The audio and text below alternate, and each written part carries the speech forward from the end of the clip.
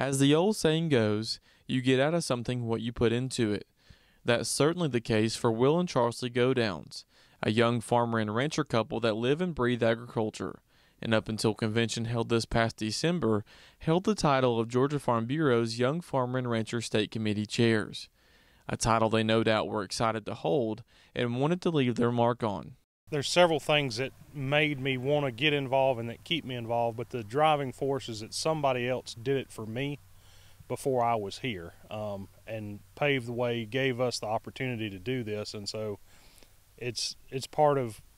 what I want to do as far as giving back not only to the industry but the people that are in the industry. You know, advocating not only for agriculture but for the young people in agriculture and the first generation farmers to the fourth and fifth generation farmers. Uh, young young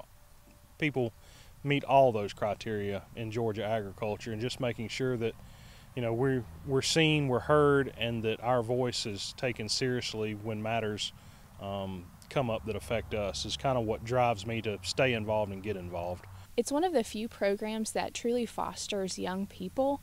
to be involved in the agriculture industry and sets them up for success. Um, the reason that I think Young Farmers and Ranchers is so important is because we are really working with the people who will become the next generation of farmers and ranchers and agriculturalists and folks that will continue to impact the industry, um, be it by their production or by their influence on the industry as a whole. Um, so, the Young Farmers and Ranchers Committee um, and our program is super influential on the industry and something that we're really proud of. Due to COVID, the board decided to extend the Young Farmer and Rancher Committee members another year,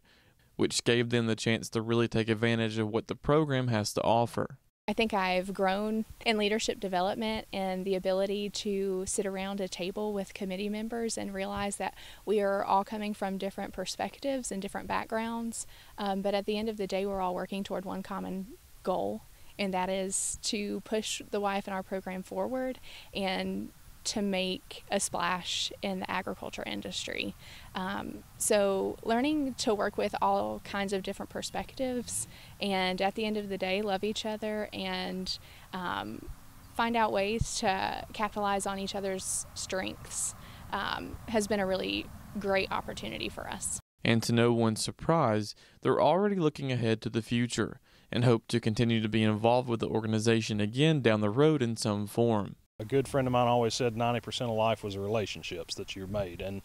being able to have that extra year of time in the boardroom and, and getting to know the other directors, board of directors well and, and forming relationships with them has not only enriched my time that I've served as young farmer and rancher chair, but it'll also has encouraged me to stay involved past this year and to look for ways that I can help and ways that I can serve in Farm Bureau and Farm Bureau leadership in the future. Reporting in Woodbury for the Farm Monitor, I'm John Holcomb.